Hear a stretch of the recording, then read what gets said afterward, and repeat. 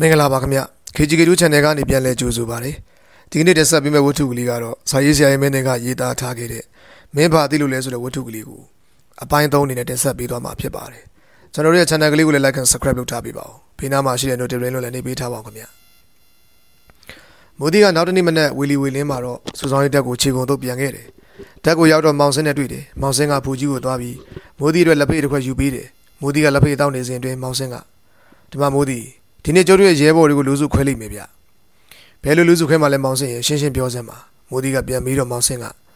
စားတက်တဲ့သူနဲ့စားမတက်တဲ့သူဆိုပြီးခွဲလိုက်မယ်မဟုတ်တာပဲမောင်စင်းရင်ရဲဘော်တွေအားလုံးစားတက်ကြတယ်မလားမိုးဒီကထပ်ပြောတယ်အဲ့လိုမဟုတ်ဘူးဗျအတန်းရှိတာနဲ့မရှိတာခွဲလိုက်မယ်ကျုပ်ဆိုရင်ဗျာစားတော့ရေးတယ်ဖတ်တတ်တယ်ပေါ့ဒါပေမဲ့ဘုန်းကြီးကျောင်းအတွက်အတန်းတစ်တန်းမှရှိတာမဟုတ်ဘူးခမ ्या ကအတန်းရှိတယ်လीဘယ်နှစ်တန်းလဲမောင်စင်းကပြောတော့ငါက10တန်းထိသင်ဘူးတယ်ကွာဒီလိုပြန်ဆိုလိုက်တဲ့အခါမှာမောင်စင်းက အဲဒီလိုဆယ်တန်းနေပါနေနေဘူးတဲ့သူတွေကိုတနေရာကိုပို့လိုက်မယ်ဘယ်ကူလဲတော့ကြုတ်လဲအတိအကျမသိဘူးလို့ပြန်ပြောတယ်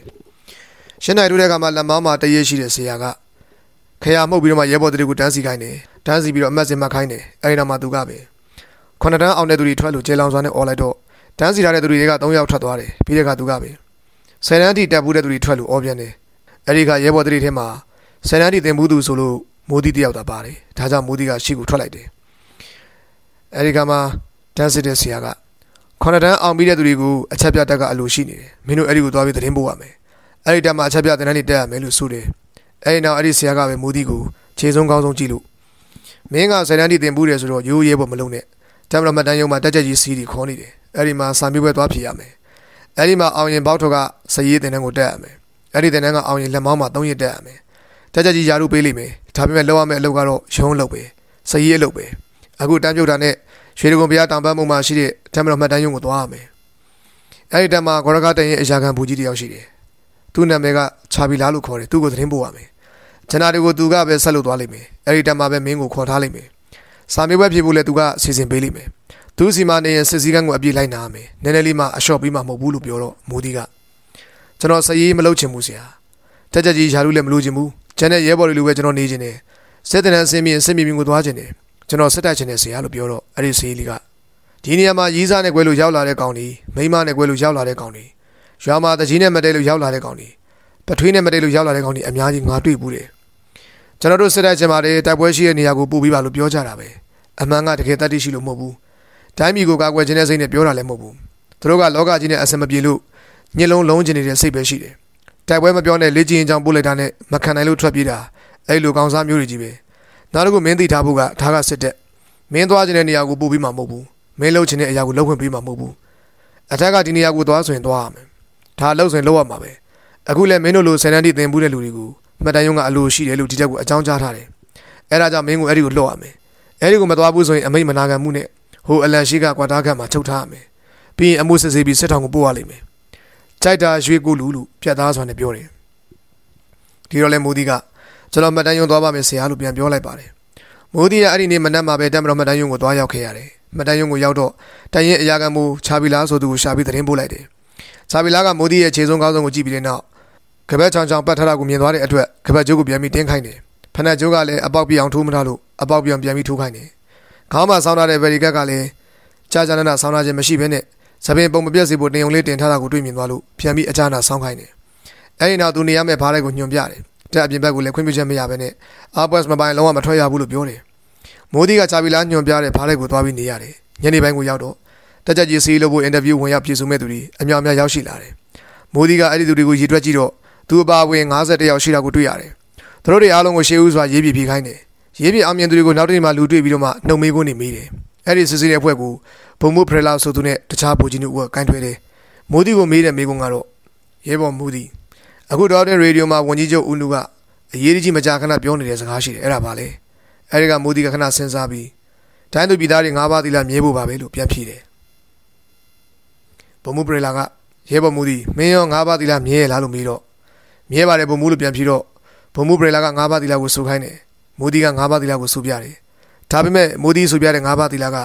သူရာမေရယအပိုက်ပြုတ်ပြီးတော့မှ၄ပါးသာရှိတော့ကြောင့်ဘုံမှုပရေလာကလည်းမင်းအခုဆိုတာ၄ပါးပဲရှိသေးတယ်တပါးလိုနေသေးတယ် ဒီလိုပြောပြီးတော့မှကလထိုင်ဘောကစင်မီချမ်းမြေမှာလောက်ကြီးထိုင်ခိုင်းလို့ဘုံမိုးပရလာကိုတိုင်အဟန်ဘန်းဒီကစားပြီး၅ပါးဒီလာကိုတိုင်ပြီးတယ်မိုးဒီကလည်းလိုက်ပြီးရွတ်ဆိုပါတယ်ဘေးကတပန်မိုးဒီကို၅ပါးဒီလာပြန်ပြီးတယ်အဲ့ဒီခါမိုးဒီကကောင်းစွာဖြေဆိုနိုင်ပြီဒီနောက်ဘူမူပရလာကမင်းအခုပြုတ်ကြံခဲ့တဲ့သီလာတစ်ပါးကဘေးမင်းကစောလောစာအရက်ကိုရှောင်ကျင်ပါမယ်ဆိုတဲ့အပိုက်ဒီအပိုက်ကိုမေးကြံခဲ့တယ်ဆိုတော့မင်းကအရက်တောက်တဲ့ထင်တယ်လို့ပြောတယ်ဒီကမိုးဒီကမတောက်တတ်ပါဘူးလို့ပြန်ပြီးဖြေလိုက်တော့ဘူမူကလည်းဓမ္မတော်သားဖြစ်သွားရင်အမြဲဆောင်ထားမယ်စာအုပ်ကတော့ စစ်တီတော်ကျင့်ဝတ်ကွာအဲ့ဒီမှာကျင့်ဝတ်60ရှိတယ်အဲ့ဒါကိုတခုမှချိုးပေါက်လို့မရဘူးလို့ပြောပြီးမိုးဒီကိုပြန်ပြီးလွှတ်လိုက်ပါတယ်နောက်တစ်နေ့မှာအောင်စင်းကတ်ထားတဲ့အတွက်မိုးဒီကိုတွားရောက်ကြည့်ရှိတော့ထိတ်ဆုံးနှန်းကအောင်နေတာကိုဝမ်းမြောက်ဖွယ်ရာတွေ့မြင်ရပါတော့တယ်တမတော်မတန်ရုံမှာမိုးဒီတို့မျိုးအင်တာဗျူးအောင်ပြီးတဲ့သူတွေများပြားရှိပါတယ်သူတို့အားလုံးကိုမင်္ဂလာတုံးမှာရှိတဲ့တမတော်လေ့ကျင့်ရေးအကြောင်းကိုအခြေခံစစ်ပညာသင်ဖို့အတွက်စေကားကြီးတွေနဲ့ပို့လိုက်ရတယ်အဲ့ဒီတက်ကိုရောက်တော့အခြားသောတက်သားတွေနဲ့ရောပလိုက်တယ်ဒီနောက်မှာတက်ခွဲ၅ခွဲမှာမျှထားလိုက်ပါတယ် မိုးဒီကတက်ခွဲ၅ခွဲကိုရောက်သွားတယ်အဲ့ဒီတက်ခွဲမှာသူနဲ့ရင်းနှီးတဲ့တက်သားတွေရဲဘော်မောင်စင်းကရောက်နေနေပြီဖြစ်တယ်မောင်စင်းကမိုးဒီကိုမြင်တော့မြင်မြင်ချင်းပဲခွင်မိုးဒီပြန်ဆောင်ရသေးတယ်ဗျာကျုပ်ကတော့တခါတည်းကွဲသွားပြီးအောင်းမိနေတာအာရဝန်သားနဲ့ပြောတော့မိုးဒီကလည်းမောင်စင်းဟာမင်းနဲ့ငါဘယ်တော့မှမကွဲပါဘူးတက်ဒီခွဲပြီးပို့လိုက်လို့တခြားစီရောက်သွားရင်လေငါအနေနဲ့မင်းစီကိုစာမြဲနဲ့ထည့်မှာပါကွာဒီလိုပြန်ပြီးပြောတယ်ခွင်မိုးဒီကစာတက်တယ်လीတက်ဒီမှာဘိုးဖြစ်သွားမှာကျုပ်ကတော့ရဲဘော်ကကူတက်မှာမဟုတ်ဘူးစားမမတက်ပဲလို့မောင်စင်းကပြောတယ်ဒီတော့မိုးဒီက ဒီမှာမောင်စင်းမင်းငါကိုဘိုးဖြစ်မယ်လို့ထင်သလားလို့မေးတော့မောင်စင်းကထင်တာပေါ့ဗျာကျုပ်ထင်ကမလွဲပါဘူးချင်းတည်ဖြစ်မှာပါလို့ပြန်ပြောတယ်တကယ်ပြောတာလားမိုးဒီကမိတဲ့ကမောင်စင်းကလည်းကျုပ်တယောက်တည်းထင်တာမဟုတ်ဘူးကျုပ်တို့ရင်နှံချောင်းကလာတဲ့အုပ်စုတစ်ခုလုံးကအဲ့လိုထင်ကြီးပေးနေကြတာပြုံးပြုံးလေးနဲ့ပြန်ပြီးပြေတော့ဒါဆိုရင်လည်းပြီးရောကွာဘိုးဖြစ်မယ်ဆိုတာတေချာအခုကလေးကငါ့ကိုအလေးပြုခွင်မိုးဒီလို့မခေါ်နဲ့ဘိုးကြီးမိုးဒီလို့ခေါ်ကွာအဲ့လိုအတီပေါင်းနဲ့နောက်လိုက်တော့မောင်စင်းကခေါ်ပါမယ်ဘိုးကြီးလို့ပြန်ပြေတယ်နောက်တစ်ခုပြောအောင်မယ်မောင်စင်း ဒီမှာသမင်းယူတဲ့အခါလက်ဖေးယူတဲ့အခါတန်းစီရမယ်ငါကမင်းတို့ဘိုးကြီးဆိုတော့တန်းမစီချင်ဘူးမင်းတို့ပဲငါအစားတန်းစီပြီးယူပေးကြမိုးဒီကဆိုတော့မောင်စင်းကလည်းစိတ်ချပါဘူးကျွန်တော်တို့အားလုံးလှုပ်ပေးပါမယ်လို့ဆိုပါတယ်အဲ့ဒီချိန်ကစပြီးမောင်စင်းတို့လူစုကမိုးဒီကိုတွေ့ရင်အလေးပြုကြတယ်စကားပြောလဲဘိုးကြီးလို့ထည့်ပြီးပြောကြတယ်တခြားသောရဲဘော်တွေကဒီအချင်းရာကိုနားမလည်နိုင်ပဲရှိကြတယ်ဒါကြောင့်မောင်စင်းကိုမိုးဒီကိုဘာကြောင့်ဘိုးကြီးလို့ခေါ်တယ်လဲဘာကြောင့်အလေးပြုတယ်လဲလို့မေးတော့မောင်စင်းကကိုရင်မိုးဒီကဆယ်တန်းတိတက်ခဲ့တယ်ဗျ အဲ့တော့ဘိုးဖြစ်စရာရှင်သူကဖြစ်မှာကျိုးတို့ကဘယ်ဖြစ်ပါမလဲဒါကြောင့်ဘိုးဖြစ်မှဘိုးကြီးလို့ခေါ်မနေတော့ဘူးအခုကလေးကကြိုပြီးတော့မှခေါ်ထားတာပဲ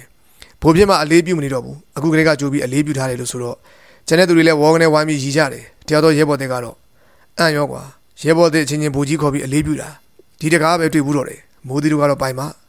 ဘူဘူချင်းတက်နေစားရဲဆိုတာဒါမျိုးဟိမကျင်တဲ့လေတန်းနဲ့ပြောတော့မိုးဒီကလည်းမင်းလည်းငါ့လိုလှုပ်ကြည့်ပါလားဖြစ်မလားလို့အဲဒီကရဲဘော်တယ်လေ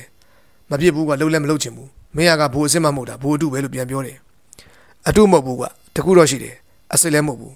သူတို့ရဲ့နှလုံးသားမှာငါ့ကိုဘူပြည့်လက်ခံလိုက်တာငါကဘူအတုလို့တာမဟုတ်ဘူးဒါပေမဲ့တက်ကပေးတာမဟုတ်တော့အစ်စ်လည်းမဟုတ်ဘူးကခြေနဲ့ရင်မင်းလည်းငါ့ကိုအလေးပြုပါအခုကလေးကပြောထားလိုက်မယ်သူတို့ကသူတို့ခြေနဲ့ကြလို့ဘူတင်ပေးထားတာမင်းလာပြီးအနောက်ရှက်မပေးနဲ့မင်းဘူးတပြားသားမှမပါဘူးနားလေလားအညာသားအခုလက်တော့မလင်းကပတ်နဲ့ချုပ်ပြီးရရလိမ့်မယ်လို့ကျင်းလဲတော့အဲ့ဒီရဲဘော်တွေကလည်းနောက်ပြောင်းတဲ့သဘောနဲ့ကောင်းပါပြီဘိုးကြီးမိုးဒီအခုပဲလက်ပါတော့မယ်လို့ဆိုပြီး အလေးပြုလို့အနီးကထွက်သွားပါတော့တယ်မိုးဒီလိုလူစုကအဲ့ဒီနေ့မှာဆရာတို့ရောက်ရှိလာပြီးတော့မှဂရင်ကြီးတလုံးချလို့ကေလျောက်လို့ခေါ်တဲ့ဆောင်းချနောင်းတွေခေါင်းဒီအိယာသိန်းတွေကိုသင်ပြပေးပါတယ်အဲ့ဒီနေ့နေ့လယ်ပိုင်းမှာတော့အရှိကြီးသတိတက်တာအေးစီလုံနေတွေသင်ပေးတယ်ပြီးတဲ့ကတန်းစီနီညာညီနီအမတ်စင်မှတ်နီးတွေကိုသင်ပြပေးတယ်ပြီးတဲ့ကအမြန်လျှောက်နီးစာပေးရန်အလေးပြုနီးတွေကိုမနာတန်သင်ပါတော့တယ်ညပိုင်းကိုရောက်တော့စစ်တမ်းရအတက်မှာစောင့်နေရတဲ့အိပ်ပန်ဆောင်ကင်းမင်္ဂလာတော်စစ်တပ်အားလုံးကိုပေးတဲ့ရေစင်ကြီးအောက်မှာစောင့်ရတဲ့ရေစင်ကြီးကင်း တရင်ရုံကိုစောင့်တဲ့ရောင်ကင်းတွေချပြီးတော့မှကင်းဆောင်ခိုင်းတယ်မိုးဒီကမောင်စင်းနဲ့အစင်တဖြင့်တွဲထားတာဖြစ်တော့မိုးဒီဆောင်ရတဲ့အလှည့်ဒီမှာဘိုးကြီးအိတ်တော်ဆိုပြီးမောင်စင်းကစောင့်ပေးတယ်ကင်းသမားတွေကိုတက်ကလက်ဖေးတိုက်တဲ့အတွက်မောင်စင်းကမိုးဒီအတွက်လက်ဖေးယူခဲ့ပြီး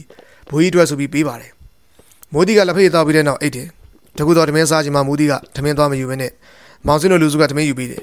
တနန်းဒီပြဆရာကမိုးဒီကိုတစီတစောင်းကြည့်နေတယ်မိုးဒီကမသိရှာဘူးအဲ့ဒီဆရာကမိုးဒီနီးကိုရောက်လာလို့ဟဲ့ကောင် ဟိုမှာတမင်းဝေနေတော့သွားပြီးမယူဘူးလားလို့မေးတယ်မိုးဒီကဘာမှပြန်မပြေခင်မှာအနီးမှာရှိတဲ့ရဲဘော်တို့ကဆရာဒီကောင်ကတမင်းနေပါလိမ့်မယူဘူးသူ့ကိုယူပေးတဲ့တပည့်တွေရှိတယ်လို့ဆိုတော့ဆရာလို့သူကမိုးဒီကိုစားတော့ဝါတော့မလို့ကြည့်တယ်အောင်မှာရဲဘော်တဲ့ချင်းချင်းဘတ်စမန်တွေဘာတွေထားလို့ပါလားတတ်ထဲလာပြီးဆရာမမွေးရဘူးတပည့်မမွေးရဘူးကွာဒီလိုပြောတယ်ဒီကမှာမောင်စင်းတို့လူစုကမိုးဒီစီကိုရောက်လာလို့ထမင်းပကံကိုပေးသူပြီးဘင်းထဲတဲ့မက်ကွက်ကိုပေးသူပြီးလောက်ကြတယ်ဒီတော့စောစောကရဲဘော်တဲ့ကဒီကောင်တပည့်တွေဆိုတာကအဲ့ဒီကောင်တွေပဲ ထမင်းစားပင်လည်းဒီကောင်ကပကံမစေးရဘူးအဲ့ဒီကောင်တွေကစေးပေးကြတယ်ယူနီဖောင်းလည်းကိုယ်တိုင်မလျှော်ရဘူးအဲ့ဒီကောင်တွေကလျှော်ပေးကြတယ်အဲ့ဒါလိုထမှန်တိုင်ကြားလီတော့ဆရာပြည့်သူလည်းဒီမခံနိုင်တော့ဘဲနဲ့မိုးဒီရဲ့ပချိတ်ကိုလက်သီးနဲ့ဖြောင်းနဲ့ထိုးချလိုက်တယ်မိုးဒီကမြေပေါ်ကိုပုံရသားလဲကျသွားတယ်ဒီလောက်နဲ့မကျင်တဲ့တိပဲနဲ့အဲ့ဒီဆရာကတက်ခွဲမှုယုံကိုတွားရောက်လို့တိုင်တန်းတယ်တက်ခွဲမှုကဗိုလ်ကြီးအဆင့်ရှိတဲ့အင်္ဂလိုအိန္ဒိယန်တယောက်ဖြစ်ပါတယ်သူရဲ့အမိကမစ္စတာကင်းနဲ့သူရဲ့ယာရုကိုလိုက်လို့ဗိုလ်ကြီးကင်းလို့ခေါ်ကြတယ်ဗိုလ်ကြီးကင်းကအဲ့ဒီဆရာစကားကိုနားထောင်ပြီးပြုံးနေတယ် လူလူချင်းဒီလိုလုပ်ပေးတယ်ဆိုတာကသူ့ကိုအတော်လေးကိုလေးစားလို့လုပ်ပေးတာပေါ့ဒီကောင်လေးမှအရေးချင်းတစ်ခုတော့ရှိလိမ့်မယ်ခေါ်ခဲ့ဒီလိုပြောတော့မိုးဒီကိုတက်ခွဲမှုယုံကိုခေါ်သွားတယ်မိုးဒီရဲ့ပချစ်ကရောင်ကိုင်းနေပြီဖြစ်တယ်အန်သွားတဲ့ချောင်းကကျွတ်လူနီးနီးနဲ့သွားပါတယ်မိုးဒီကတက်ခွဲမှုစပွဲရှိကိုရောက်တဲ့ကတက်ခွဲမှုကိုအလေးပြုလို့တတိဆွဲကရက်နေတယ်တက်ခွဲမှုကိုယ်တိုင်ကအသက်သားလို့ပြောလဲမှသက်သားအနေထားကိုပြောင်းလိုက်တယ်တက်ခွဲမှုကမိုးဒီကိုခြေဆုံးကောင်းဆုံးကြည့်ပြီးတဲ့နောက်ဟဲ့ကောင်မမှန်ပြောစမ်းမင်းက psychology စိတ်ပညာလေ့ကျင့်ကလေ့ကျင့်မှုတယ်မလားလို့မေးတယ် သင်မှုပါတယ်ဘူကြီးလို့မိုးဒီကပြန်ပြေးတယ်အဲ့လိုကျင့်မှုဘဲကနီးရတယ်လို့တက်ခွဲမှုကပြန်ပြီးတော့ကိုနောင်ဘီဆိုတဲ့ကျွန်တော်ဆရာကသင်ပြီးလို့ကျင့်နေတာပါအဲ့ဒီကတက်ခွဲမှုကဘလို့ကျင့်ခဲ့တယ်လို့မေးပြန်တယ်နှစ်မျိုးကျင့်ရပါတယ်တစ်မျိုးက affirmation အတည်ပြုတာပါတစ်မျိုးက visualization အာယုံပြုတာပါမိုးဒီကပြန်ပြီးတော့တက်ခွဲမှုကမင်းဆရာကထားတွေကိုဘဲကတက်ခဲ့တယ်လို့ပြန်မေးတယ်အိန္ဒိယပြည်နယ်နီဘောပြည်ကတင်ယူခဲ့တာပါမိုးဒီကပြန်ပြေးလိုက်တော့တက်ခွဲမှုကကောင်းပြီလေဒီကတန်းဆင်းသွားတဲ့ခါ အချင်းရရင်ဆက်ပြီးလှုပ်ဖို့ဒီမှာတော့မလုပ်ရဘူးအချင်းချင်းလွှမ်းမှုမထားဘူးကြားလားအဲ့လိုဆိုပြီးပြန်ပြီးလွတ်လိုက်ပါတော့တယ်မိုးဒီကိုတက်ခွဲမှုဗိုလ်ကြီးကင်ကခေါ်တွေ့ပြီးတော့များမကြခင်မှာတက်ခွဲမှုနဲ့မိုးဒီတို့စကားပြောကြမယ့်အကြောင်းအရာလုံးစီပတ်စီကတက်ခွဲ၅ခုစလုံးကိုပြန်နေသွားတာပေါ့အညာသားရဲဘော်တို့ကတော့ဒီလိုဆိုရင်မိုးဒီကမော်စရာပဲလို့ဆိုတယ်ကြားတဲ့ရဲဘော်တွေကဝေါနဲ့ဝိုင်းပြီးရီမောကြတယ်အဲ့ဒီချိန်ကစားပြီးမိုးဒီအမိကတက်ခွဲတစ်ခုလုံးမှာမော်စရာလို့တွင်သွားပါတယ် ဒါပေမဲ့တက်ခွဲတစ်ခွဲလုံးကမိုးဒီကိုခင်မင်ကြတယ်မိုးဒီကတစုံတယောက်နဲ့မှရံပြခြင်းမရှိစကားများခြင်းလည်းမရှိဖော်ဖော်ရွေနေတတ်တာကြောင့်အားလုံးကခင်မင်ကြတယ်ထို့အတူဆရာတွေကလည်းပဲခင်မင်နေမိုးဒီကမနက်၄နာရီထိုးတာနဲ့အေးရကထားရတယ်အဲဒီနောက်တက်ခွဲရှိရာမင်္ဂလာတုံကနေပြီးဒငင်းကုန်းလမ်းစုံအထိပီတီပြေးရတယ်အဲဒီလိုပြေးကြတဲ့အခါမင်္ဂလာတုံလွန်တာနဲ့ရေကန်ကြီးတကန်ရဲ့ရေလွဲပေါက်ကြီးကိုတွေ့ရတယ်အဲဒီရေလွဲပေါက်ကြီးနေရာမှာလေတဟူးတိုက်နေတယ်မိုးဒီတို့ပီတီပြေးတဲ့အချိန်ကအလင်းအောင်မရှိဘဲမောင်မဲနေတာကြောင့်ဒူးနဲ့ဒူးတဲ့တဲ့ကွက်ကွက်မမြင်ရဘူးမိုးဒီကအတန်းလိုက်ပြေးနေရက ရေလဲပေါက်ကြီးကိုတွေ့တော့အတန်းကထွက်ခဲ့ပြီးရေလဲပေါက်ကြီးရဲ့အုပ်ပါပေါ်မှာတက်ပြီးအိတ်တယ်တက်ခွဲတစ်ခွဲလုံးဒငင်းကုန်းဘက်ကိုပြေးသွားပေမဲ့မိုးဒီကအိတ်ချန်ခဲ့တယ်ဒငင်းကုန်းကိုရောက်လို့တက်ခွဲတစ်ခုလုံးပြန်ပြီးလှည့်လာလို့ရေလဲပေါက်ကြီးကိုတက်ခွဲပြန်ပြီးရောက်လာတဲ့အခါမှာမှမိုးဒီကအေးရကားထားပြီးအတန်းတွေကိုပြန်ဝင်တယ်ဒါကိုသိတဲ့အညာသားရဲဘော်ကမော်ဆရာအေးဝါးရလာလို့မေးတယ်ကောင်းကောင်းအေးရတယ်ကွာမင်းတို့အားလုံးဒငင်းကုန်းထိရောက်သွားပြီးပြန်လာတာတနားကြီးကြောတယ်မင်းတို့ပြန်လာတဲ့အတန်ကြားမှာငါကထားတာအဲ့ဒီအချိန်ထိအိတ်နေတာပေါ့ကွာလို့မိုးဒီကပြန်ပြောတော့ဒီအညာသားရဲဘော်က ငါလည်းမနေ့ပြန်မင်းနဲ့တူအိတ်မယ်လို့ပြောတယ်နောက်တနေ့ပီတီပြေးချိန်မှာရေလဲပေါက်ချင်းမှာမိုးသီးတယောက်တည်းမဟုတ်ဘူးအညာသားရဲဘော်ပါလိုက်ပြီးအိတ်တယ်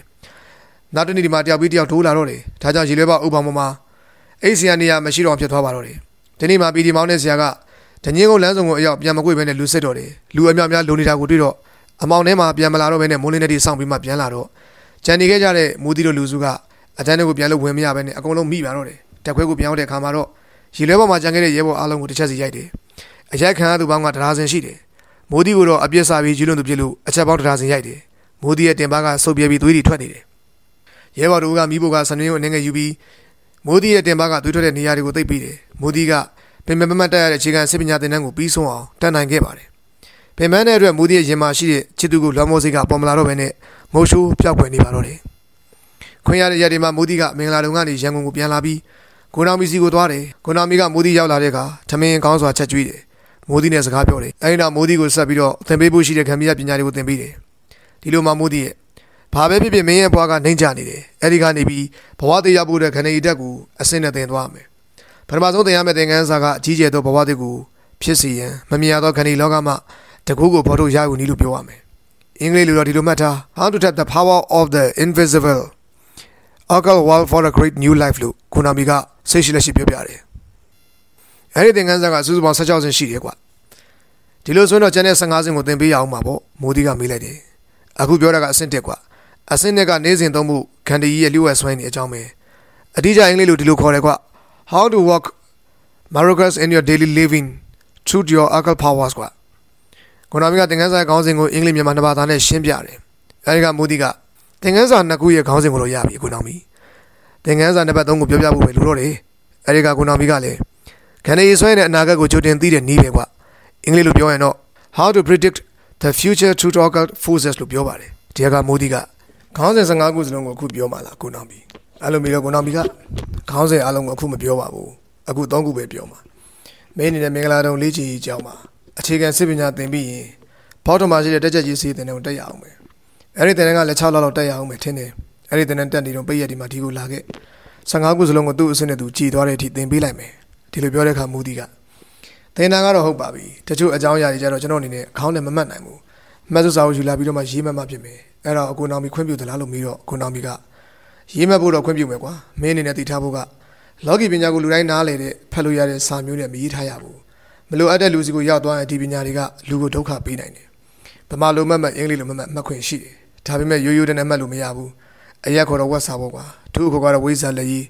magic writing နဲ့ရေးရတယ် ဒါမှသူများဖတ်လို့မရမှာလို့ဆိုတယ်အဲ့ဒီကမူဒီကအဲ့ဒီလက်ရေးရေးနည်းကိုကျွန်တော်ကိုသင်ပေးအောင်ပါဘောလို့မေးတော့သင်ရမှာပေါ့မူဒီရဲ့ပထမဆုံးသင်ရမှာက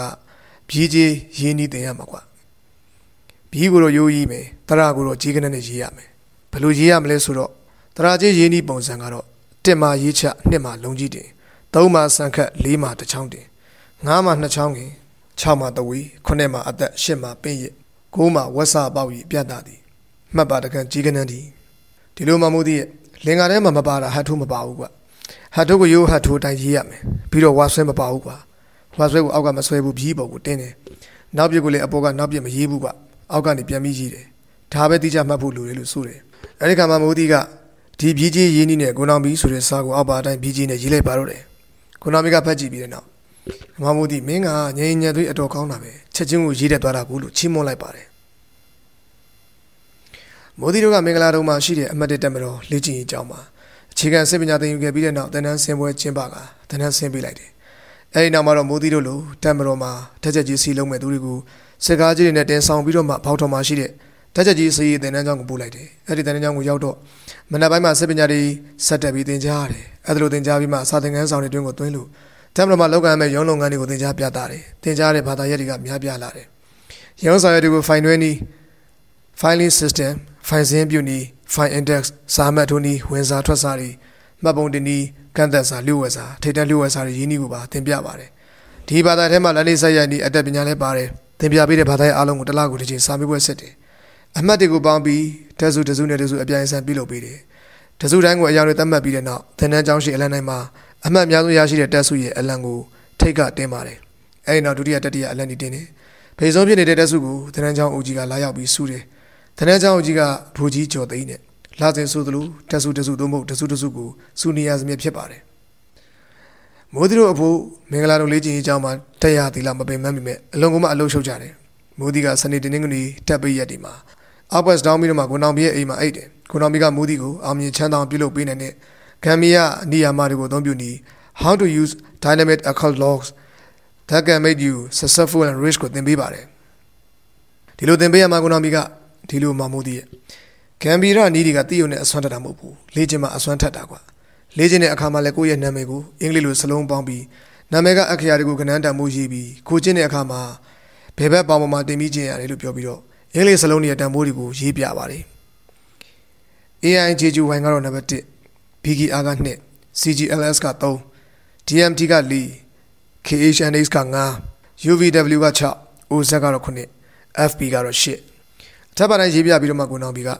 အဲ့ဒါတွေကိုအလွတ်ချက်ထားရမယ်ကွာပြီးတော့မင်းနာမည်မိုးသီးဆိုတာကိုအင်္ဂလိပ်လိုပေါင်းလိုက်ရင်ဒီလိုပေါ့ M O T H E E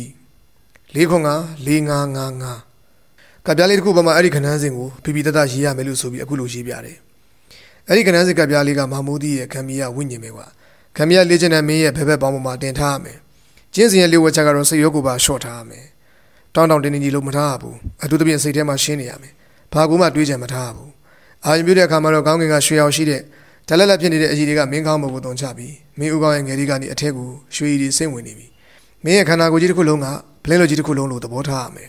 ပလင်းလိုကြီးတဲ့ကူရွှေအောင်အရေးတွေပြည့်သွားသလိုမင်းခန္ဓာကိုယ်တစ်ခုလုံးနေရာလက်မကျန်ရွှေအောင်နေနဲ့ပြည့်သွားပြီလို့အာယုံမှာထင်မြောင်ယူရမယ်အဲ့ဒီရွှေအောင်အရေးတွေကခန္ဓာကြီးဆွဲနေပဲလို့မင်းစိတ်ကယုံကြည်ထားရမယ်ပြီးတော့မှမင်းဖြစ်ချင်တာတွေကိုနှုတ်ကဆိုပြီးအတိပြုစကားတွေပြောရမယ်အဲ့ဒါကငါမင်းကိုသင်ပြမယ်ခန္ဓာကြီးပညာအဆင့်14စင်လုံးပဲတော့ချက်ပဲ ခေါင်းစဉ်သာကွဲသွားမယ်လောရမှာကတော့ဒါမျိုးကြီးပဲလို့ဆိုပါတယ်မိုးဒီကကုနာမီတင်ပြတဲ့အကြောင်းအရာတွေကိုကောင်းစွာပဲသဘောပေါက်သွားပြီဖြစ်တယ်မိုးဒီကခန္ဓာကြီးပညာကိုသင်နေပြီမဲ့လေမျက်မြင်လူလောကကလေးကလွဲလို့တခြားသောပရလောကရှိတာကိုများစွာယုံကြည်မရှိလာဘူးတညမှာတက်ကညအချိန်မီးတွေမိတ်လိုက်တော့သူ့ရဲ့တက်စုတစုတွေ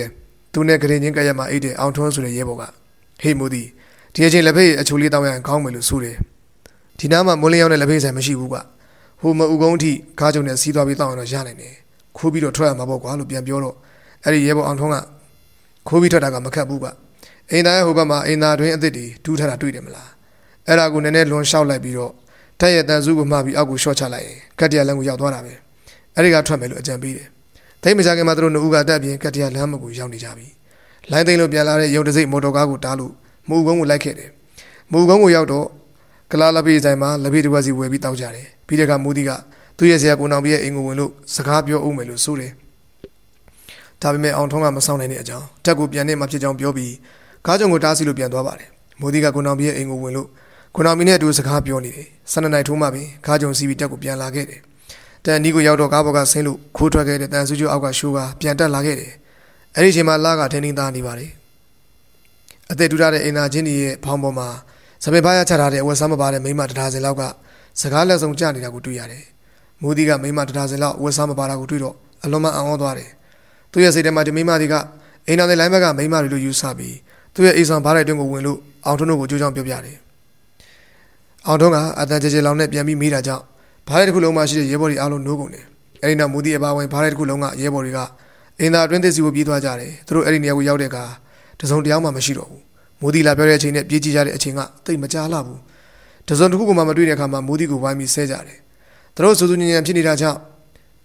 ကွာတာကမှတာဝန်ကျနေတဲ့ကင်းမှုဒုတိယရောက်လာလို့အကျိုးကြောင့်မိတယ်မိုးဒီကသူတွေ့တဲ့အချင်းရကိုပြောပြတယ်အဲဒီကကင်းမှုကအဲ့ဒီမိမတွေဘယ်ကားလို့မင်းထင်တယ်လို့မိတယ်အဲ့ဒီကမိုးဒီကအိမ်တော်တဲ့လိုင်းဘက်ကဖြစ်မှာဘောလို့ဖြေလိုက်တော့ကင်းမှုကမဟုတ်တာကွာအိမ်တော်တဲ့လိုင်းမှာနေတဲ့ဒုမိမတွေကမကောင်းတဲ့မိမတွေမှမဟုတ်ပဲဒီဘက်ကိုလာဖို့မပြောနဲ့မျက်စောင်းတော်မှာထိုးကြည့်ခွင့်မရှိဘူးဒါပေမဲ့မင်းတွေ့တာကိုလည်းမဟုတ်ဘူးလို့ငါမပြောလို့ဘူးမနေ့ကမိုးတွေမှာငါဒီမှာကင်းချလို့ဒီအိမ်သာဘက်ကိုလာတော့မင်းတွေ့တယ်လို့ပဲမိမလေးယောက်ကိုတွေ့ရတယ် အဝတ်စားမပါဘူးလူတွေမဟုတ်ဘူးဆိုတော့ငါအတက်တည်တယ်ဒါကြောင့်ငါလက်ထက်က rifle နဲ့ပြစ်လိုက်လို့ပျောက်သွားတယ်ကွာအဲ့ဒီတနက်ဖောင်းမှုနဲ့ရုံးတင်ပြီးငါအေးယူခံရတယ်ဒီမှာညီလေးမင်းတွေ့တာတွေကလူတွေမဟုတ်ဘူးကနာနာဘဝတွေသွားအိတ်တော်လို့ဆိုတယ်အဲ့ဒီချိန်ကစပြီးမိုးဒီရဲ့အုံနောက်မှာနာနာဘဝနဲ့မျက်မြင်လောကမဟုတ်တဲ့အခြားတစ်ပါးသောလောကကိုစိတ်ဝင်စားသွားပါတော့တယ်မိုးဒီတက်ရောက်နေတဲ့တက်ချက်ကြီးစည်ရည်တင်တန်းကပြီးဆုံးသွားပါပြီဒါကြောင့်မလို့တင်တန်းဆင်ပွဲကျင်းပါတယ်တင်တန်းဆင်ပွဲမှာမှတ်တမ်းရုံရဲ့တရင်မှုဖြစ်သူဘုံမူကြီးဖခြင်းက အောင်လက်မှတ်တီချင်းမြင်ပေးပါတယ်တင်တန်းစင်မိတ်ဆုံညစာစားပွဲအတွက်တရုတ်ဟူတေကြီးတစ်ခုကထမင်းနေမှာယူလို့ငါးယောက်တစ်ဝိုင်းတဲခင်းကျွေးမွေးတယ်မိုးဒီတို့ကပျော်ရွှင်စွာနဲ့တင်တန်းဆင်ခဲ့ကြတယ်အဲ့ဒီတင်တန်းဆင်ပြီးတရက်နှစ်ရက်လောက်ချတဲ့အခါဘယ်သူဘယ်တက်ကိုသွားရမယ်ဆိုတာကိုအဲ့ဒီစင်းကိုတင်တန်းကြောင်ညာတင်ဖို့မှလာပြီးကတ်ထားတယ်မိုးဒီကအဲ့ဒီကြောင်ညာကိုသွားရောက်ပြီးဖတ်လီတော့သူ့အနေနဲ့မကွေးမြို့မှာရှိတဲ့ချင်းလင်းတရင်20ကိုသွားရောက်ရမှာဖြစ်ကြောင်းသိရပါတော့တယ်အဲ့ဒါလိုသိပြီးနှစ်ရက်ချတဲ့အခါမှာသူ့ကို movement order ခေါ်ခီးသွားလာခွင့်အမိန့်စာဆောင်တဲ့တူ ရန်ကုန်ကပြည်ကိုယထာစည်းခွင့်ဝရမ်းလက်မှတ်တစ်ဆောင်ပြည်ကမကွေးကိုတင်မောစည်းခွင့်ဝရမ်းလက်မှတ်တစ်ဆောင်ထုတ်ပေးတယ်သူနဲ့တူခီးလမ်းကြုံသွားမယ်အခြားသူတွေလည်းရှိပါသေးတယ်ဒီခီးလမ်းကြုံဒီမှာသူနဲ့တစုတစည်းတည်းနေကြရတဲ့အုံကျော်ဆိုသူပါတယ်အဲ့ဒီအုံကျော်ကနောက်ကရဲတပ်ဖွဲ့ကိုအသွင်ကူးပြောင်းသွားတယ်၎င်းကအဲ့ဒီချိန်ကပခုတ်ကိုတိုင်ရင်ကိုသွားရောက်ဖို့ဖြစ်တယ်မိုးဒီကအုံကျော်တို့နဲ့အတူမိရထားနဲ့ပြည်ကိုလိုက်ပါလာခဲ့တယ်ပြည်ကိုရောက်တော့ပြည်တွင်းရေချောင်းပိုင်းသင်းမောနဲ့မကွေးကိုလိုက်ပါလာခဲ့တယ်ပြည်ကထွက်ပြီးမကွေးမရောက်မီဆက်ကြားမင်းလာခန်တန်းရှိတဲ့မင်းလာမြို့မှာသင်းမောကခိတ္တစိုက်ကပ်ပါတယ် အဲ့ဒါလိုစိုက်ကပ်စင်မှာမိုးဒီကခန်တာတွင်ကိုလဲလဲကြည့်ရှုတယ်အဲ့ဒါလိုကြည့်ရှုနေစဉ်အတွင်းသူ့လိုပဲကြည်နေတဲ့ပခုံးမှာယာရုတစိတ်ဘာနာပါတတ်ထားတဲ့ဘူအဆင့်ရှိအရာရှိတူနဲ့တွေ့တယ်အဲ့ဒီအရာရှိကဆရာလေးဖက်တက်ကလည်းလို့မေးတယ်ဒီတော့မိုးဒီကကျွန်တော်အခုမှတင်နန်းကနေမကွေးမှရှိတဲ့ခလာ21ကို posting ကြလာတာပါလို့ဆိုတော့အဲ့ဒီအရာရှိကကိုလည်းခလာ21ကပဲကိုနာမည်ဘူကျော်လာတဲ့ရန်ကုန်ကိုပြန်ပြီးလက်ထပ်တာလေဟိုမှာလာနေတာကိုမိမပဲကိုမိမနဲ့လည်းမိတ်ဆက်ပေးရအောင်မယ်လို့ဆိုတယ် အဲ့ဒီနောက်မှာသူ့ရဲ့မိမထော်အုံးမြင့်နဲ့လည်းမိတ်ဆက်ပေးတယ်အဲ့လိုမိတ်ဆက်ပေးပြီးတော့မှနာမည်ဘယ်လိုခေါ်တယ်လို့မေးတယ်ကျွန်တော်နာမည်မိုးဒီပါဘူကြီးလို့ပြန်ပြီးဖြေတော့ဘူကြီးကျော်လာကဒီသင်းမောနဲ့လာတာပဲမလားကိုလိုလည်းဒီသင်းမောနဲ့ပဲမကွေးရောက်အိမ်ကိုလိုက်ခဲ့အောင်ဆရာမိုးဒီအိမ်မှာတမင်းစားပြီးမှတက်ကိုအတူတူသွားကြတာပေါ့ကိုကမကွေးပြီးတော့တိုက်ထဲမှာနေတယ်တခုမေးရအောင်မယ်ဆရာမိုးဒီမျက်နှာကိုမြင်မှုတလို့ပဲဘယ်မှာမြင်မှုမှန်းတော့မသိဘူးလို့ဆိုတယ်ဘိုးကြီးကိုကျွန်တော်ကောင်းကောင်းမှတ်မိပါတယ်ကျွန်တော်တို့အိမ်သားကစားတဲ့ဘိုးကြီးဦးလာပေါ်အိမ်ကို ခဏခဏလာတာတွေ့ဘူးတယ်လို့မိုးသီးကပြောလိုက်တော့ဘူကြီးကျော်လာကဟုတ်ပြီအဲ့ဒီစားတိုက်ဘူကြီးရဲ့မွေးစားသားကိုအောင်တန်းကကိုနဲ့အကြောင်းတွေပဲတငယ်ချင်းပဲဥပဦးကြီးရဲ့သားရင်းကလည်းတက်ထဲမှာအရာရှိပဲဘူကြီးချစ်ဆွေးတဲ့ခရတက်မှာရောက်နေတယ်အော်ဆရာမိုးသီးကအဲ့ဒီနားကကိုလို့ပြောဆိုတယ်ဒါကြောင့်မိုးသီးနဲ့ဘူကြီးကျော်လာတို့ကယင်းဒီတဲ့အဖြစ်ကိုရောက်ရှိသွားတယ်အဲ့ဒီတက်ကိုရောက်တော့တရင်အရာခံမှုဖြစ်သူဆရာဦးလန်းညွန့်ဆိုသူစီမှာသတင်းပို့ပါတယ်အဲ့ဒီခါ၎င်းတရင်အရာခံဘူကြီးကဆာဂျင်မက်စ်လို့အလွယ်ခေါ်တဲ့အရာခံဘူနဲ့ တက်ကြကြီးများရိတ်တမ်းမှာနေတိုင်းစားတော့ဖို့အတွက်နေရာပေးပါတယ်။နောက်တနေ့တရင်ရုံတက်ချိန်မှာတော့တရေးဘိုးကြီးဖြစ်သူဘိုးကြီးထုံးအောင်ကျော်စီမှာတွားရောက်သတင်းပို့တော့လောလောဆယ်တော့ဂျူဌာနမှာပဲနေဦးပြီးတော့မှတက်ခွဲတွေကိုပို့ပါမယ်ဒီမှာပို့ရမယ့်လူတွေအများကြီးရှိတယ်စုဆောင်းထားတော့မယ်ဗိုလ်တန်းကဆင်းလာတဲ့ဒုဗိုလ်တွေလည်းရှိတယ်သူတို့တွေလည်းတက်ခွဲတွေကိုပို့ရမှာတရက်ထက်ကုန်ပို့မှာခဏဆောင်အောင်မယ်တရင်မှုလည်းခီးသွားနေတယ်တရင်မှုပြန်လာမှဒီလိုကိုလောက်ရမယ်လို့ရှင်းပြတယ်မိုးဒီကကျူးလို့ခေါ်တဲ့တထောက်ရုံးမှနေရတယ်နေ့စဉ်မနေ့တိုင်းအဲ့ဒီရုံးကိုပဲသွားရောက်ရတယ် အဲ့ဒီရုံးကမှတက်ချက်ကြီးစရေးအဆင့်တစ်ဆရာဘာဆိုဆိုသူရှိပါတယ်အဲ့ဒီဆရာဘာဆိုကစာရေးဆရာမောင်တော်ကခေါ်ရှေ့ရက်ကဘုံမှုဖတော်ရဲ့ညီအရင်ပါအခြားကြောက်ကတက်ချက်ကြီးစရေးအဆင့်နှစ်ဆရာ reps လို့ခေါ်တဲ့ခေါရခါလူမျိုးဆရာတူပါသူတို့နှစ်ဦးစလုံးကဖိုးရီသူတွေပါအထူးထူးရောင်းလုံငန်းကျွမ်းကျင်သူတွေလည်းဖြစ်ကြတယ်တရင်မှုပြန်ရောက်တဲ့အခါမှာမိုးတီတို့ကိုတက်ခွဲအသီးသီးကိုခွဲခြားပို့တယ်မိုးတီနဲ့အထူးဘိုတင်ဦးဆိုသူကဇလိမ့်မြို့မှာရှိတဲ့တက်ခွဲနှစ်ကိုတွားရမှာဖြစ်တယ်ဘိုးကြီးတင်ဦးကမနက်ဝရှင်နိုင်ဒီကထွက်မယ်အစင်းသေးလှုပ်ထားရမယ်ဆရာမိုးတီလို့ဆိုတယ် ဒါကြောင့်မလို့မိုးတီကစိတ်ချပါဘိုးကြီးအစင်းသေးဖြစ်နေရစေမယ်လို့ပြန်ပြောလိုက်တယ်နောက်တစ်နေ့မနက်၈နာရီမှာတော့သူတို့နှစ်ဦးကိုတက်ကဂျက်ကားနဲ့လိုက်ပြီးပို့ပေးပါတယ်ပွင့်ပြမျိုးကိုရောက်တဲ့အခါမြန်မာသမင်းဆိုင်ဒီဇိုင်းကိုဝင်ပြီးသမင်းစားကြတယ်အဲ့ဒီသမင်းမိုးကိုဘိုးကြီးတင်ဦးကပဲရှင်းပြီးတယ်ဆိုင်ကထွက်လာတဲ့ခါမှာတော့စီဂရက်တပူကိုဆရာမိုးတီကိုလှမ်းပြီးပေးတယ်စီဂရက်ပေးတာကဆလိတောက်တက်ရက်သားနဲ့လမ်းမှာဒုက္ခရောက်မှဆိုလို့ပေးတာခုကတော့ကွန်လည်းမစားတတ်ဘူးဆလိလည်းမတောက်တတ်ဘူးဆလိတောက်တာကိုလည်းအာမပေးခြင်းဘူးလို့ဆိုပါတယ် မိုးတီကတစုံတရာပြန်မပြောဘဲနဲ့ပြုံးနေတယ်ဆလိမျိုးကိုရောက်တော့ရှေးကေဘူတဲကြီးတလုံးမှာတက်ဆွဲထားတဲ့ခလာ21ရဲ့တက်ခွဲနှစ်အဆောင်ကိုတွေ့ရတယ်အဲ့ဒီချိန်ကဒီတက်ခွဲရဲ့တက်ခွဲမှုကဘိုးကြီးမင်းစိန်ဆိုသူဖြစ်တယ်ဘိုးကြီးတင်ဦးကမိုးတီတို့နှစ်ဦးရောက်လာပြီဖြစ်ကြောင်းသူကပင်ဦးဆောင်လို့သတင်းပို့တယ်ဘိုးကြီးတို့နေရမယ့်နေရာနဲ့မိုးတီနေရမယ့်နေရာကိုတက်ခွဲမှုကညွှန်ပြပါတယ်တက်ခွဲမှာဘယ်လိုပဲပုံနေထိုင်ရမယ်ဆိုတာကိုနှစ်ဦးလုံးကိုဩဝါဒအနေငယ်ပေးတယ်မိုးတီကိုတော့ရုံးလို့ဒီလုပ်ဖို့အတွက်စပွဲကလထိုင်းလက်နေဆက်ဗီဒီယိုစသဖြင့်အနံ့ပါတယ် ရှင်းနေပြီးတဲ့တက်ကြကြီးစီမျိုးတန်းစီကလက်ခံရမယ့်ရုံးသုံးပစ္စည်းတွေကိုစရင်နဲ့တကွလက်ခံခိုင်းပါတယ်အဲဒါလိုလက်ခံခိုင်းပြီးတော့မှစရင်မှာရှိပေမဲ့လည်းအဲ့ဒီပစ္စည်းအမှန်တကယ်ရှိမရှိကိုမိုးတီကိုစစ်ဆေးခိုင်းတယ်စစ်ဆေးလို့အမှန်တကယ်ရှိတဲ့အခါကျမှလက်မှတ်တို့လွှဲပြောင်းလက်ခံခိုင်းပါတယ်ဆောင်ရွက်ဖောင်ဆက်နဲ့စာဝတ်ချုပ်တဲ့ကရိယာပျောက်ဆုံးနေတော့မိုးတီကလက်မှတ်မထိုးဘဲနဲ့တက်ခွဲမှုကိုတင်ပြတော့တက်ခွဲမှုကတက်ကြကြီးစီမျိုးတန်းကိုအဲ့ဒီပစ္စည်းတစ်ခုဝယ်ယူခိုင်းတယ်ဒီနောက်မှာမိုးတီကိုလက်မှတ်ထိုးခိုင်းပြီးအဲ့ဒီပစ္စည်းကိုပေးလိုက်ပါတယ် ဘိုးကြီးတင်ဦးကတော့ရှေ့တန်းစစ်မြေပြင်ရန်သူသတင်းတောက်များ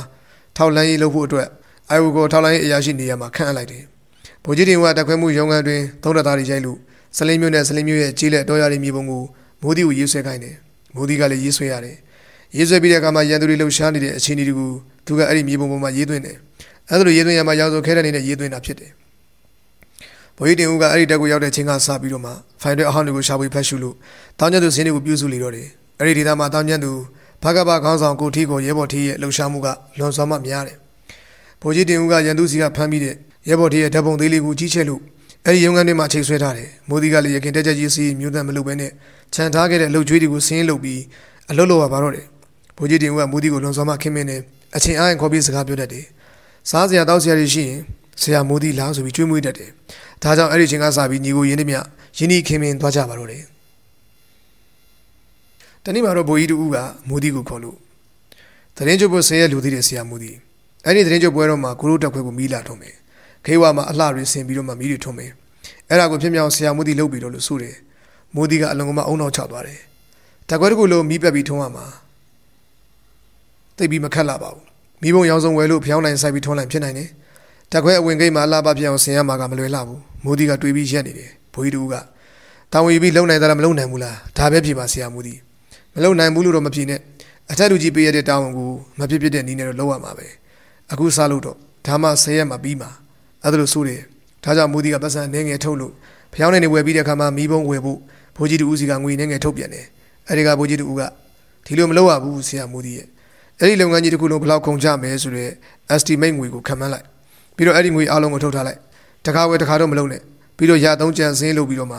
ကိုးစီကထုတ်ထားတဲ့ငွေကိုရထဲမှာထည့် သုံးလိုက်တဲ့ငွေကိုသုံးထဲမှာထည့်ကျန်တဲ့ငွေကိုကျန်တဲ့ထဲမှာထည့်စင်းကိုအဲ့ဒီလိုနှုတ်သွားပြီးတော့ဒီလောက်ကဆရာမိုးသီးတယောက်တည်းဟိုပြေးဒီပြေးနေလို့မရဘူး assistant လို့ခေါ်တဲ့လက်ထောက်တယောက်ထားရမယ်အဲ့ဒီကိုထားတဲ့လက်ထောက်ကလည်းကိုခိုင်းတာကိုအတိအကျလုပ်ပြီးလုံးမဲ့လူကိုရွေးပြီးထားရတယ်သူ့ကိုတော့ခိုင်းရမယ်ပြီးရင်တော့သူတို့ဓာတ်တွေကိုကိုကပြန်ပြီးဆေးရမယ်သူကတလွဲတွေလုပ်လဲသူ့မှာတာဝန်မရှိဘူးဆရာမိုးသီးအပေါ်မှာပဲတာဝန်တွေပုံပြီးကြလာမယ်နားလေလားဆရာမိုးသီးအတွက်အခက်အခဲတွေ့မှာကတက်ကိမှာအလားစင်မှုကိစ္စပဲအခက်အခဲရှိမှာအဲ့ဒါကိုလည်းအခက်မကျန်နဲ့ပုံချမ်းတစ်ခုဆွဲလိုက် ပြီးတော့အဲ့ဒါကိုလှုပ်တတ်တဲ့လက်သမားဆရာကြီးခေါ်ပြီးခိုင်းလိုက်ဒါလေးတော့မလှုပ်တတ်ဘူးဆိုရင်ဘာမှလှုပ်တတ်မှာမဟုတ်တော့ဘူးပြီးအောင်လုပ်ဆရာမိုးသီးသဘောပေါက်ထားဖို့ကဒါစစ်တဲ့ရေဘူးပေါက်တာမလို့ခြင်းမှုရေပါတာပဲလို့ခြင်းတယ်ဘာစင်ချင်းမှမပေးနဲ့အဲ့ဒီသတင်းကြောလာပြင်းနေမှာတရင်မှုကြီးကိုယ်တိုင်ရောက်လာနိုင်တယ်ဆရာမိုးသီးလှုပ်ထားတဲ့အလားပါတွေမြင်သွားပါစေလမ်းတစ်လျှောက်မှာရှိတဲ့အခြားတက်ခွဲတွေကလည်းသူတို့နီးသူတို့ဟန်နီနဲ့မိထုံးပွဲတွေလုပ်ကြမှာအလားတွေဆင်ကြမှာပဲအဲ့ဒါတွေတက်လှအောင်လုပ်ပြလိုက်ဆရာမူဒီကကိုယ့်ရဲ့ညီရွယ်လောက်ရှိလို့တနာလို့အလုပ်လုပ်ခိုင်းလိုက်တာဖြစ်အောင်လုပ်ပြလို့လေးလေးနက်နက်ပြောပြီးအလုပ်တောင်းပေးတယ် မူဒီကလည်းတက်ခေးဝအလားစင်မှုအတွက်ပုံချမ်းတစ်ခုကိုရေးဆွဲပါတယ်ပြီးတဲ့နောက်လက်သမားတွေကိုတွားရောက်တွေ့ဆုံပြီးလုံနိုင်ခြင်းရှိမရှိမိတော့လက်သမားဆရာကကျောတို့ကအိမ်မဲစောက်တတ်တာဆရာလေးမူဒီခမားဆွဲထားတဲ့ပုံကထောင်ကျိုးတွေသိပြီးများတယ်အိမ်လည်းမဟုတ်ဘူးပြီးတော့နဘူးစီမာကလည်းဖောင်းကြလုပ်ပေးရမယ်ဗန်ဒူလာအုပ်ထုံးနဲ့ဓာတ်ရလှန်ရဲကလည်းပါရအောင်မယ်ဆိုတော့ခတ်တယ်မလုပ်တတ်ပါဘူးလို့ညင်းဆိုကြတယ်ဒါကြောင့်မိုဒီကစပိတ်တစီကိုယူပြီးစလင်းတင်ချိုင်းကိုသွားရတယ်အဲ့ဒီတင်ချိုင်းနီးမှာဘုန်းကြီးပြန်လောင်တိုက်ချိုးတဲ့သူတွေရှိပါတယ်မိုဒီကအဲ့ဒီသူတွေနဲ့တွေ့ဆုံလို့ခေးလာစမဲ့ပုံစံကိုပြလိုက်တော့ဒီလူတွေက ဆရာမိုဒီရေခမရဘာမှမခတ်ပါဘူးဘုန်းကြီးပြန်လောင်တိုက်လောက်မှမခတ်တာနေ့ရက်ထင်းနဲ့ပြီးသွားမယ်လို့ဆိုကြတယ်ဒါကြောင့်မိုဒီကလည်းအဲ့ဒီဘုန်းကြီးပြန်လောင်တိုက်ချိုးတဲ့သူတွေကိုခေါ်လာပြီးလိုအပ်တဲ့တိတိတန်တွေဝယ်ပေးတယ်သူတို့တွေကတက်ခွဲခေးဝါမှာချင်းနေတူးကြတယ်တိုင်တွေစိုက်ကြတယ်တိတိဖြတ်ကြတယ်ရိုက်ကြတယ်ညနေပိုင်းကိုရောက်တဲ့အခါမှာအယိုးတဲ့ဘုံကပေါ်သွားပြီဖြစ်ပါတယ်အဲ့ဒီကလောင်တိုက်လို့သူတွေကအယိုးတွေတော့ပြီးသွားပြီအဘောကပိတ်ဖို့ကတော့မာလကျင်လို့ခေါ်တဲ့နွားချင်အောင်ပိတ်အုပ်ပြီးရိုက်ရမယ်ပြီးတော့မှဈေးတော့ပြီးခမရေးချင်းတာရေးပြီးတော့လို့ဆိုတယ်ဒါကြောင့်မူဒီက မင်းဘူးကိုသူ့ရဲ့လက်ထောက်ကိုလွတ်ကမာလကျင်ပိတ်အုပ်ဝင်ရတယ်မာလကျင်ပိတ်အုပ်ရောက်လာတဲ့အခါမှာတော့လောင်တိုက်လို့သူတွေကအဲ့ဒီပိတ်အုပ်ကိုသက်သားအယိုးတဲ့နေပေါ်မှာအုပ်ပြီးရိုက်ပါတယ်နောက်တစ်နေ့မှမှလုံးစုံပြီးသွားပါပြီဒီအချိန်တွေကိုဘူကြီးတူကထွက်ကြည့်ပြီးတဲ့နောက်ဆရာမူဒီမိတုံဘွက်ခေးဝပုံချမ်းကတော့ပေါ်သွားပြီအခုတဆင့်မှာကိုအတော်ကြည့်လို့ကောင်းနေပြီအဘောကဆေးချဲဖို့ပဲလိုတော့တယ်အဲ့ဒါလည်းအစဉ်ပြောင်းလုပ်ပြီးတော့ဘယ်လိုလုပ်မယ်စိတ်ကူးထားတယ်လို့မေးတယ်ဒီကမူဒီကထတန်းเจ้าမှာပကြီးနီးပြရှိတယ်ပူကြီးသူ့ကိုပဲရေးခိုင်းရမှာပဲအောက်ကန်ဈေးသူတော်လောက်ကတော့ကျွန်တော်ရဲဘော်တွေဝိုင်းပြီးလုပ်ပါမယ် အဘောကအယုတ်ဒီစာတွေကတော့အဲ့ဒီဆရာကိုခိုင်းရမှာပဲလို့ပြန်ဖြေတော့ဘူကြီးတူကဒါပေါ့ဆရာမူဒီရာတမတော်ကလုပ်ရင်ဘာမှမဆိုဖြစ်ပါတယ်ဗျကိုမလုပ်တိုင်လည်းလုပ်တတ်တဲ့လူတွေခေါ်ပြီးတော့မှခိုင်းတတ်ဖို့လိုတယ်နားလေလားဆိုပြီးပြုံးပြုံးကြီးပြောတယ်နားလေပါတယ်ဘူကြီးလို့မူဒီကပြန်ပြီးဖြေလိုက်တယ်အဲ့ဒီကဘူကြီးတူကဆရာမူဒီတခုစဉ်းစားကြည့်လေကျွန်တော်တမတော်ဆိုတာစစ်သားပဲအခုခါမှအင်းဆောင်ဆိုရဖြစ်နေဆိုရတက်လုံနေပြီဖြစ်တာပဲမလားလူသားကလှုပ်ချင်တဲ့စေတနာပဲလူတယ်ကျွန်တော်တွေကသူ့ဟာသူဖြစ်သွားလိမ့်မယ်ရဲရဲတာလို့မမမကြောက်နဲ့လို့မိုးဒီကိုအားပေးစကားပြောပါတယ် မိုးဒီကတန်းကျောင်းမှာဗဂျီနီးပြဆရာကိုသွားပြီးပင့်လာလို့နပူးစီမှာချီလင်းတက်ရင်27တက်ခွဲ27မိထုံပွဲတော်ဆိုတဲ့စာရေးလူကြောင်းဒီအတိုင်းအလဲမှာဖောင်းကျော်ရထားတဲ့နေရာမှာဖန်ဒူလာအောင်ထုတ်ဓာတ်နဲ့လှန်ရှက်ထားတဲ့ပုံရေးလူကြောင်းဒီပုံကတမတော်သားတို့ရဲ့လက်မောင်းတစ်စိတ်ပုံဖြစ်ကြောင်းပြောပြတယ်တိုင်ပုံတစ်ချက်မှာတိုင်ပတ်ဝင်နေတဲ့တမတော်သားပုံနှစ်ပုံကိုတပတ်တပုံစီထဲလို့ကြောင်းပြောပြတော့အဲ့ဒီဗဂျီနီးပြဆရာကရပါစီမယ်လို့အာမခံပြီးတဲ့နောက်မိုးဒီတို့ကိုအောက်ခံစီအကျန်တုတ်ခန့်ပြီးအဲ့ဒီအပေါ်မှာမိသူကဲနဲ့ရှောက်ပြီးတော့မှပုံချမ်းရေးတယ်အဲ့ဒီနောက်စီအောင်စုံနေဆွဲပါတော့တယ် အလုံးစုံပြီးတဲ့အခါမှာမိုးဒီကအဲ့ဒီပကြီးဆရာကိုဗန်ဒူလာဘက်မှာရှိတဲ့ပုံပေါ်မှာပြောင်ပြောင်လက်လက်တွေဖြစ်စေလိုကြောင်းပြောပြတော့အဲ့ဒီပကြီးဆရာက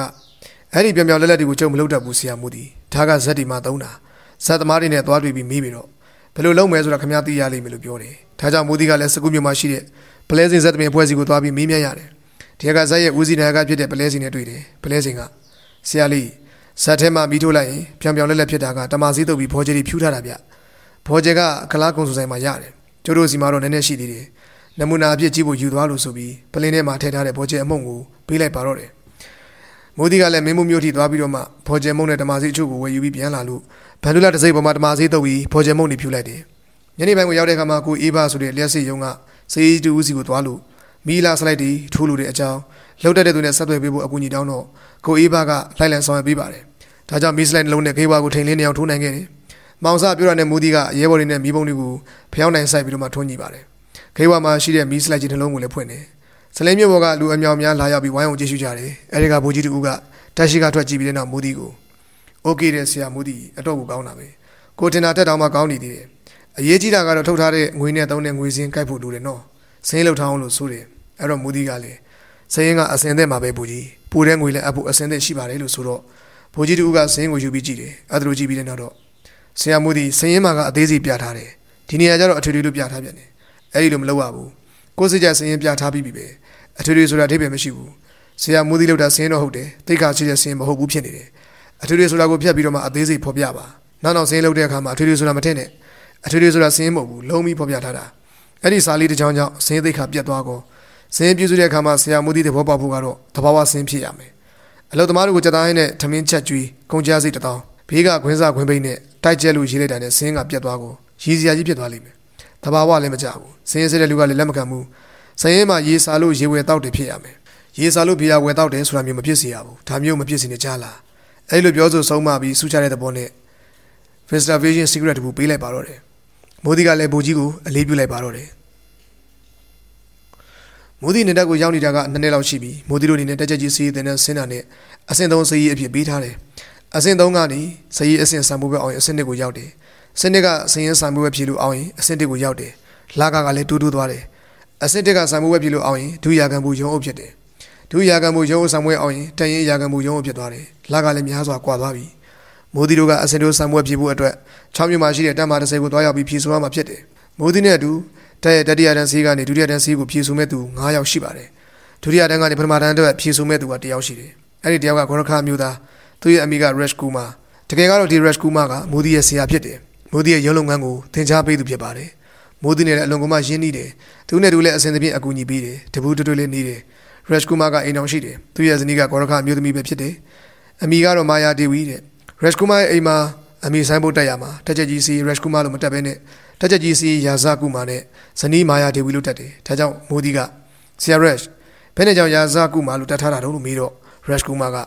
ခေါရကားအတန်ရွက်နဲ့ Resh Kumar ကွာမြန်မာအတန်ရွက်နဲ့ဆိုရင်တော့ Resh ဆိုတာကရာဇကူမာဆိုတာကကုံမာကိုပြောတာငါမိမနာမည်ကလည်းခေါရကားအတန်ရွက်နဲ့ဆိုရင် Mara Dev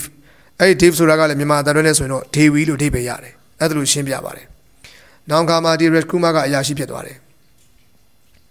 အရာရှိဖြစ်တဲ့ကမှာစကိုင်းမြို့မှာရှိတဲ့တရင်23ကိုရောက်သွားတယ်လို့သိရတယ်ဒုဗမူကြီးယာရုနဲ့အနားယူသွားတယ်လို့ကြားသိရတယ်သူရဲ့ဇနီးမာယာဒေဝီကတော့ကွယ်လွန်အနေဆာရောက်သွားတယ်လို့ကြားသိရပါတယ် အဲဒီနောက်တော့မိုးသီးတော်လူစုကတက်ချက်ကြီးစီစံမှုဘက်ကိုဖြီးဖို့6မြို့ကိုတစုတဝေးတွေထွက်လာကြတယ်အဲဒီချိန်က6မြို့မှာတက်မာ30ရှိတယ်အဲဒီတက်မာ30တက်မာမူရခင်ကောတက်မင်းကဗမူကြီးကျော်မြင့်တဲ့သူကဆရာဝန်ဘွဲ့ရထားသူဖြစ်ပါတယ်ဒါပေမဲ့စေးတက်မာမှုမထမ်းမဲနဲ့ခြေချင်းတက်မာမှုထမ်းတယ်သူနဲ့ရင်းနှီးတဲ့စစ်ဘက်အရာရှိကသူ့ကိုဗမှုလို့မခေါ်ဘဲနဲ့ဆရာဝန်ဖြစ်တာကိုအကြောင်းပြုလို့ဆရာလို့ခေါ်ကြတယ်အဲဒီချိန်ကစေဦးစီးချုပ်ကိုယ်တိုင်၎င်းဗမူကြီးကျော်မြင့်ကိုဆရာကျော်မြင့်လို့တော့မှရင်းနှီးနှီးခေါ်လေးရှိတယ် ဒီတက်မင်းကမိုးသီးတို့ရဲ့ချလင်တဲ့27မှာတရင်မှုအဖြစ်တာဝန်ထမ်းဆောင်သွားသူဖြစ်တယ်။မိုးသီးတို့လူစုကတပြောတပါးကြီး6မြို့ကိုခီးထွက်လာကြပြီဖြစ်တယ်။6မြို့ကိုရောက်တော့ပြင်းမဆိုတဲ့ရက်ကိုသွားရတယ်။အဲ့ဒီရက်ကတောင်ကုန်းဖြစ်တယ်။အဲ့ဒီနေရာမှာတက်မ30ရုံးဆိုင်တယ်။ AR မြစ်ကိုပေါ်စည်းကမြင်တဲ့နေရာဖြစ်တယ်။အလွန်ကမှရှုခင်းကောင်းတယ်။မိုးသီးတို့လူစုကတက်မ30ကိုရောက်တဲ့အခါဆရာ Rush ကဥဆောင်ပြီးစာမေးပွဲပြဖို့ရောက်ရှိကြောင်းသတင်းပို့တယ်။တောင်ကျအရာရှိကမိုးသီးတို့ရဲ့ movement order လို့ခေါ်တဲ့ခီးသွားလာခွင့်အမိန့်ကိုဖတ်ကြည့်တော့အဲ့ဒီလမ်းမမှာရိခါလွှဲမပေးလိုက်ကြောင်းတွေ့ရတဲ့အတွက်သူက ဆရာတို့ရဲ့ moment border မှာရိခါဒီတက်ကိုလွှဲမပေးလိုက်ဘူးအဲ့တော့နေဖို့နေရာပေးမယ်ဆိုင်ပွဲဖြစ်ဖို့ရက်ကိုဘယ်မှာဖြစ်မယ်ဆိုတာနေရာပြပေးမယ်သမင်းစားဖို့အစီအစဉ်ကတော့ဒီတက်မှာစားဖို့မရှိဘူးကိုယ်အစီအစဉ်နဲ့ကိုပြင်မှာထွက်ပြီးစားကြပြီတော့လို့ရှင်းပြပြီးလက်ခံထားတယ်ဒီကဆရာ rush ကမိုးတီတို့ဘက်ကိုလှည့်လို့ပို့ပြီးကောင်းလာပါကိုလူတွေဟာအပြင်ဘက်ထွက်ရတာပေါ့ချောင်းမှာသမင်းဆိုင်တွေခောက်ဆွဲဆိုင်တွေကအများကြီးရှိတယ်လေ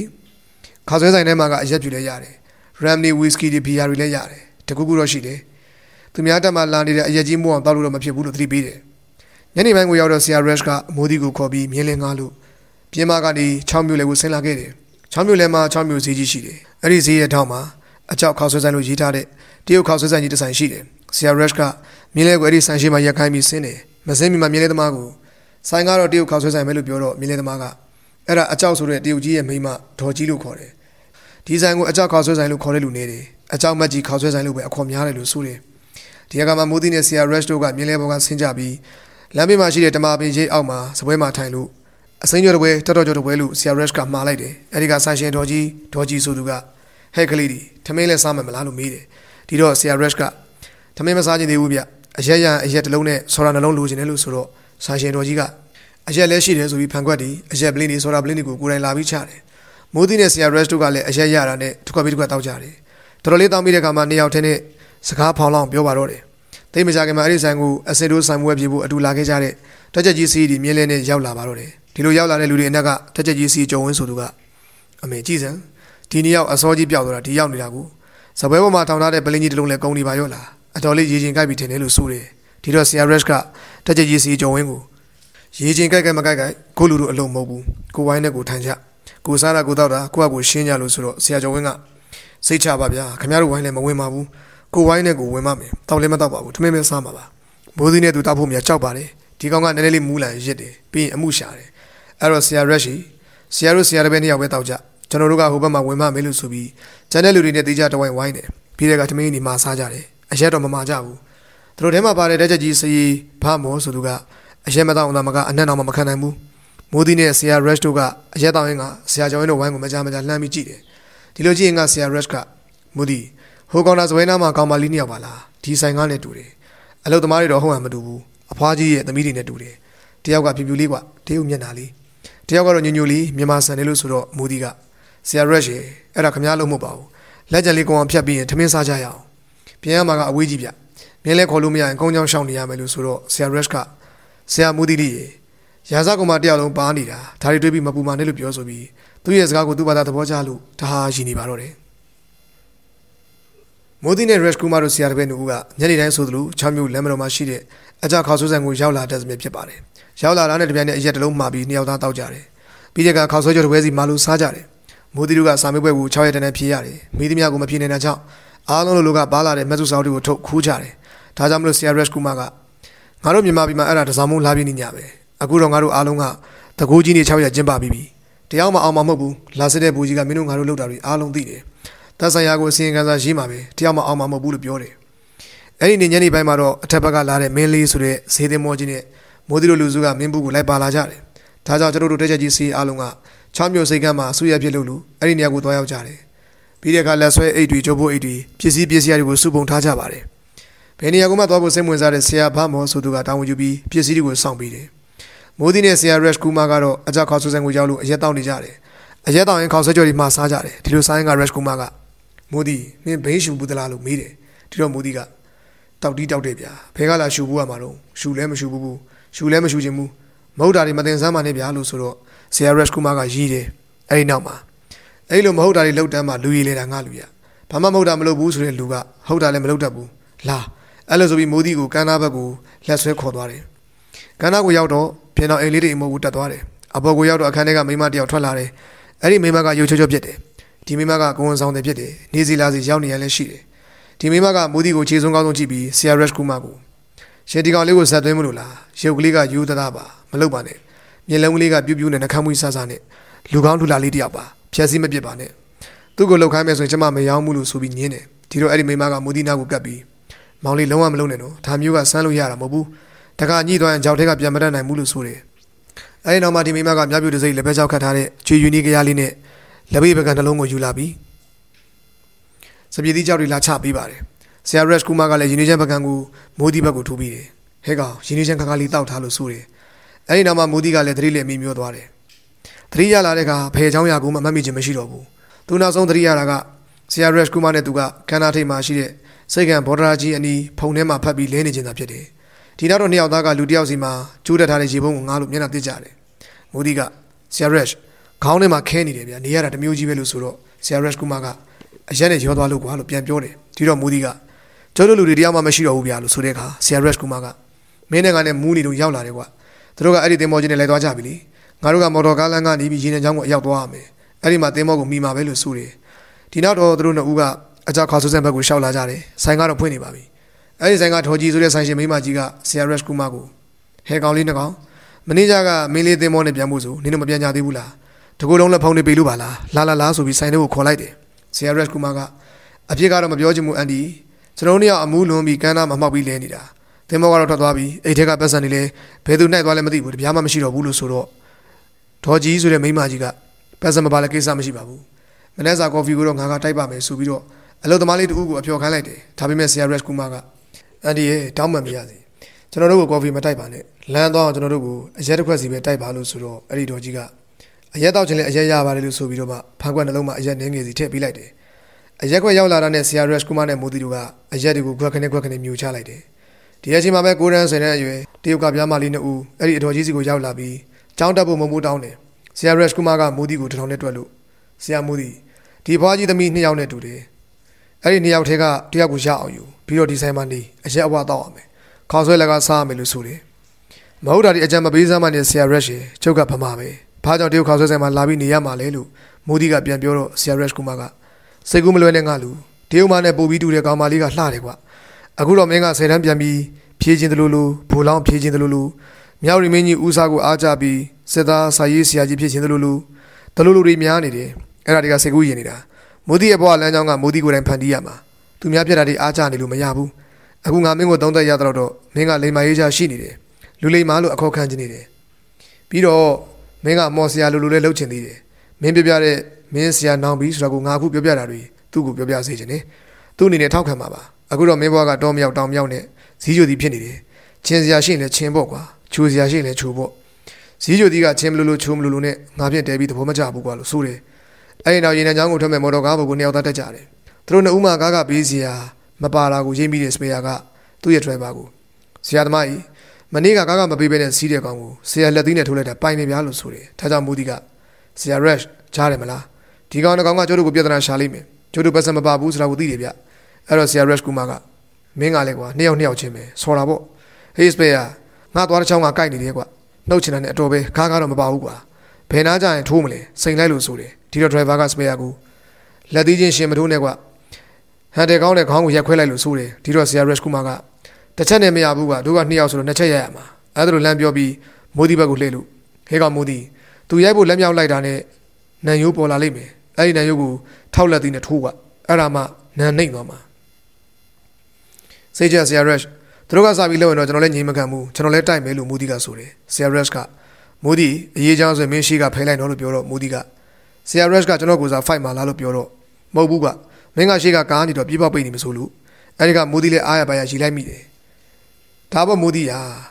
ဒုက္ခနဲ့တွေ့တဲ့အခါအားရပါရရီနိုင်တယ်ဆိုတာယောက်ျားပြီးသားတာကိုပြောတာအဲ့ဒါတွေကမင်းဘဝမှာအသက်ပညာဖြစ်တန်ဖိုးတွေဖြစ်လာလိမ့်မယ်လို့ဆရာ rush ကလေးလေးနက်နက်ပြောပြီးမိုးဒီရဲ့ညာဘက်လက်ခုံကိုဆွဲလို့နည်းနည်းကကနမ်းရှုပ်လိုက်ပါတယ်ဒီကနေ့တင်ဆက်ပေးတဲ့ဝတ္ထုလေးကိုဒီညလေးမှာခေတ္တရန်နာလိုက်ပါတယ်ဒီကနေ့တင်ဆက်ပေးခဲ့တာကတော့စာရေးဆရာမင်းတွေကရေးသားထားခဲ့တဲ့မင်းပါသိလို့လဲဆိုတဲ့ဝတ္ထုလေးကိုအပိုင်း၃အနေနဲ့တင်ဆက်ပေးခဲ့တာပါကျွန်တော်တို့ရဲ့ channel ကလေးကိုလည်း like and subscribe လုပ်ထားပေးပါဦးဘေးနားက notification လေးနဲ့နှိပ်ပေးထားပါအောင်ခင်ဗျအားလုံးကိုအထူးပဲကျေးဇူးတင်ပါတယ်